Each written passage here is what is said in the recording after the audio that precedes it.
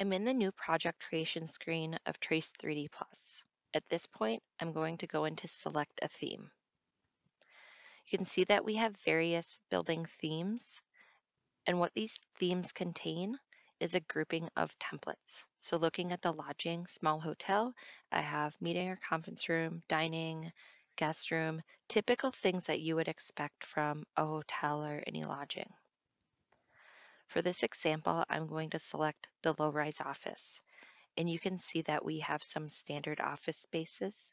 If you would want to add or remove any of these room types or make adjustments to your construction or zone, which are going to be the zone set points and drift points, then you can go to create project and edit templates. I'm going to create the project. Even selecting this option, you could make changes to any of these templates as you continue to work within this project. After the file gets loaded, we can go into the building and site section. The first thing you'll see here is the weather. If you'd want to make any adjustments to your weather or your location, you can do so here. See in the left, we have a lot of preloaded um, domestic and international locations. What we're going to do right now is go into the building section. See that there's three options to create a building. So that would be import GBXML, draw a building, or create a building using the building wizard. The building wizard gives you the option of five pre-configured building types. Um, you can see that each is made up of different rectangles and each rectangle has five rooms or zones within there.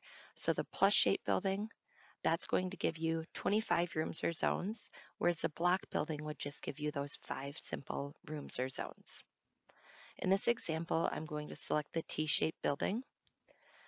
So we have a north, I'm going to name this wing north and south wing. You could also modify the number of levels. So maybe I want to do three levels in this office building, adjust the length and width. So I'm going to make this modification. Um, and the length, you can see down here, um, these images will not change, but you will see this change be made within our drawing canvas.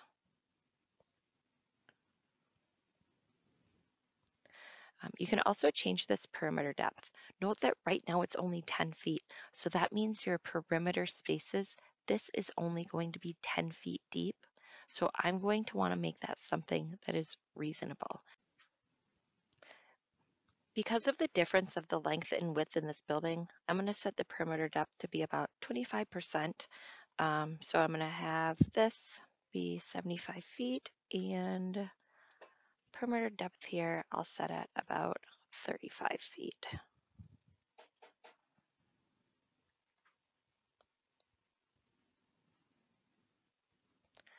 Then we can add any glazing. Um, if you'd want to add a drop ceiling, you would set your ceiling elevation, raised floor. Um, I'm going to put glazing, I'm going to do 40%. And this, and then I'm also going to go to my south, apply 40%, except for my um, southmost facing wall, and then that would be 75%.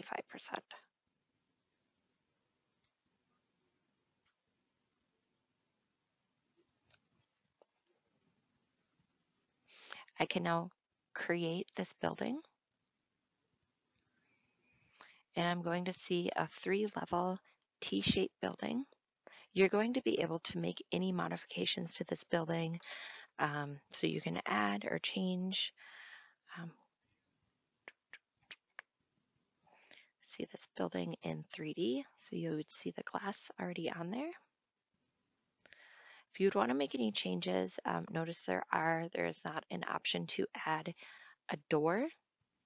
You would be able to go in to create building, um, construction, and you know, add any other objects in here. Maybe you want to add doors.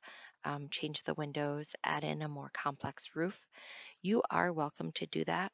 The intent of this tool is to just get a quick building for load or energy analysis so you can spend your time focusing on your systems or your plants rather than drawing a building. Once you get your systems and plants created and applied, you can come back um, and you can make any modifications to your building or create a different alternative where you would make those changes.